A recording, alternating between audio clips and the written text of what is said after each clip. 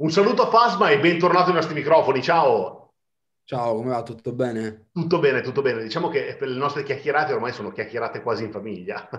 Sì, totalmente in famiglia. Cioè, mi ha visto al mio primo concerto serio, vediamolo in questa maniera, e mi vedi anche ora, perciò è come stare in famiglia. No, ma anche perché quello che, che, mi piace sempre sottolineare è proprio l'evoluzione, un'evoluzione artistica e musicale, ma quello che non cambia è proprio l'entusiasmo e la capacità di avere attorno delle persone sempre eccezionali, sempre delle persone che credono in te e che credono nella tua musica e credono soprattutto, sanno chi sei, sanno come sei.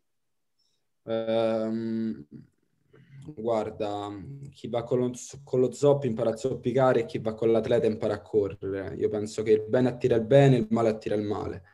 Uh, io sto bene con me stesso e credo di far bene, uh, credo di dare il meglio anche uh, se a volte si sbaglia perché siamo umani, giustamente. Eh, però è bello vedere che facendo cose belle attiri persone che vogliono fare cose belle. Questo è positivo. Ma senti, prima di parlare del nuovo singolo, vorrei fare un passo indietro e parlare del Festival di Sanremo. Invece sono passati due no. mesi, disco d'oro. Oggi a mente fredda, come valuti il, il lavoro che hai fatto sul, sul palco e subito dopo? Guarda, non mi piace mai dirlo, uh, sai che sono una persona che non gli piace dire queste cose, però abbiamo fatto platino e da poco, anzi qualche giorno, ieri me l'hanno detto e me l'hanno detto, pensa te, una persona che l'aveva visto da, perché io purtroppo non guardo mai il telefono, una persona mi ha incontrato per strada e mi ha fatto, oh, ho saputo che hai fatto platino, ha fatto guarda non lo sapevo. E, sinceramente l'entusiasmo non cambia perché le persone ci supportano. Uh, automaticamente nel momento nel quale ci sta un festival che comunque riconosce questo nostro talento, delle persone che ci supportano, l'entusiasmo non può mai mancare, soprattutto uh, dopo due mesi ti posso dire che la fama è il doppio dell'anno scorso e il triplo di due mesi fa. Questo questo è positivo, anche perché non era obiettivamente facile riuscire ad emergere in un festival di Sanremo con tanti artisti e poi così diversi l'uno dall'altro. Beh, sicuramente uno deve emergere per quello che è, io la penso in questa maniera, io non sono mai stato in competizione con nessuno uh, se non con me stesso, uh, in qualsiasi sfida della vita. Uh, d'altronde mh, non si parla di problemi di vita, perciò automaticamente la competizione non c'è sopravvivenza, c'è la musica che deve vincere, a prescindere di chi e di per come. La cosa bella di quest'anno è che eh, c'erano tante sfaccettature della musica, automaticamente ogni persona aveva la possibilità di rispecchiarsi nell'artista preferito ed è stato bello vedere che tante persone hanno riconosciuto nella nostra musica un luogo in cui nascondersi o meglio un luogo in cui chiudersi eh, in un momento del genere. Perfetto, assolutamente sì. Poi tra l'altro eh, parlami, hai avuto modo anche di, di, portarlo sul palco del concertone del primo maggio, anche se hai dato già qualche poi indizio poi anche del nuovo singolo.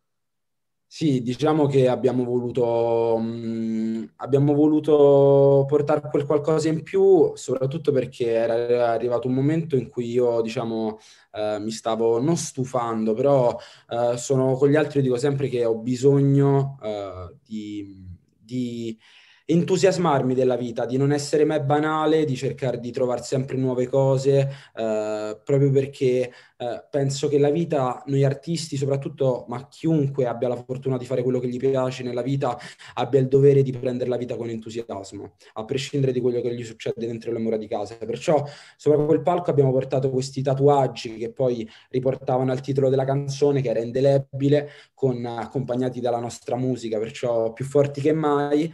ed è stata una bella esperienza, soprattutto in un momento del genere, è stato bello salire da un palco finalmente poi direi, perché un palco è mancato. finalmente, bravissimo, hai detto bene, non vedo l'ora, guarda, io sto aspettando da due anni di fare il mio concerto, perciò dillo un po', dillo un po' a me. Ma parlando proprio di indelebile, comunque eh, si vede quella che è un'ulteriore novità anche dal punto di vista proprio del, dei suoni, ma comunque si mantiene ormai quell'impronta che abbiamo avuto modo di conoscere ormai qualche, qualche tempo fa. Tu come definisci il brano e per te cosa rappresenta? Allora, mh mm, sicuramente ti posso raccontare e dire che è mh, mm, una musica e una canzone che uh, è partita in maniera facile eh, e ciò non esclude il fatto che comunque ci sia tanto lavoro dietro. Uh, diciamo è partita in maniera facile perché come tutte le nostre canzoni sono partite di getto però sicuramente questa canzone è andata, volu- abbiamo voluto mirare proprio su un argomento che è quello dei ricordi, no? E, um, in questo momento sto leggendo molti libri di storia, no? E, e, delle volte mi ritrovo a leggere delle, delle situazioni uh, che sono accadute centinaia di anni fa, uh, analoghe a quelle che possono accadere oggi, magari con uh, usi e consuetudini e culture differenti. E questa cosa eh, mi, ha, mi, ha, sorpreso, così tanto che ho detto che eh, i ricordi alla fine, eh, anche se abbiamo la testimonianza, eh, molte volte neanche noi sappiamo com'erano le cose, perché poi non ci andiamo ad informare. Questa canzone è un po' quel libro di storia, no? Uh, quel libro che a prescindere di quello che può capitare nel futuro, i ricordi ci devono forgiare, perciò devono essere quel libro che devono uh, insegnarci come la storia fa a non commettere gli stessi errori che qualcun altro ha commesso nel passato. Uh, e perciò questa è un po' la nostra fotografia, il nostro, il nostro libro da, da, leggerci ogni tanto per ricordare chi siamo. Assolutamente, a me piace anche molto il videoclip, perché secondo me non fa altro che amplificare quello che è il messaggio del, del brano. Secondo me più lo si guarda e più comunque si, si percepisce quella che è questa tua, questa tua volontà, soprattutto di portare un tipo di messaggio ben preciso. Sì, diciamo che la scelta degli arlisti, comunque gli arlisti ehm, per fama, eh, per realtà, sono una realtà eh, che vive con gli stessi valori con cui noi viviamo la musica, che sono i valori sicuramente della fratellanza, eh, del rispetto reciproco, eh, dello stare insieme, e, e comunque questo, questo, mondo, poi la cosa bella, personalmente ti racconto questa piccola chicchetta personale che non tendo mai a raccontare la mia vita privata, però l'ho voluto fare proprio per omaggiare una parte della mia educazione, perché mio padre eh, è un arlista, era un arlista quando aveva uh, le Harley, uh, l'Harley andava in giro uh, a fare le sue avventure, perciò è stato allo stesso tempo sia un omaggio a questa realtà, ma allo stesso tempo anche un omaggio a un'esperienza personale che è sempre giusto portare, perché l'immaginario come sempre ci forge, i ricordi ci forge nel nostro passato. Deve essere un motivo in più per essere più forti, no? Assolutamente. Qualche giorno fa hai scritto sui social un lungo messaggio, in particolare mi ha colpito una frase, se domani qualcosa non cambierà sarà anche colpa tua, mia. Beh, piuttosto forte, però credo che comunque riassuma molto bene quello che è il tuo punto di vista sul, sul periodo. Ah, guarda, io penso che siamo in un periodo di ottimisti indefiniti. Eh, tendiamo a credere nel futuro, ma non sappiamo come.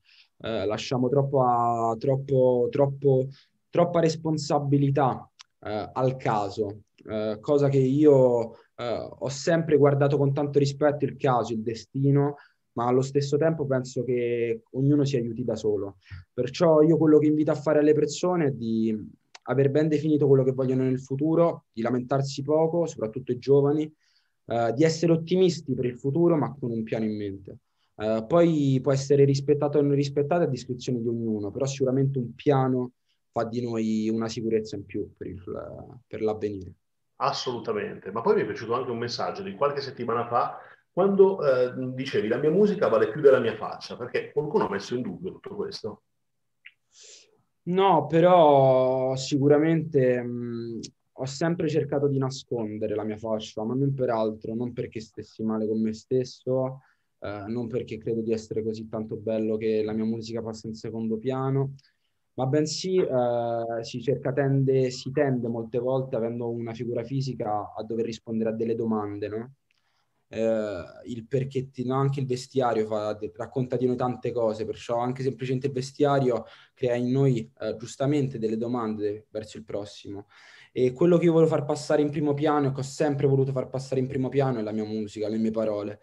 Eh, è per quello che io non tendo a raccontare la mia vita privata. Io penso che una persona possa giudicare la mia musica e dire che è brutta. Io non mi sentirò mai offeso perché la musica è soggettiva. Uh, nel momento nel quale si parla della mia vita privata, nessuno può giudicarla se non io, perché solamente io la vivo e solamente io so perché accade una determinata cosa. È per questo che voglio sempre scindere le cose.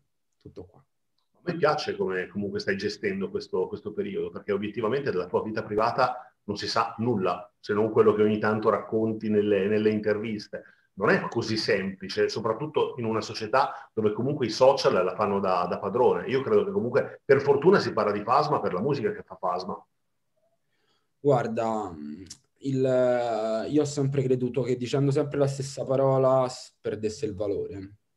Eh, allo stesso tempo, più le persone dicono qualcosa, più la storia cambia, più qualcuno mette il suo, no?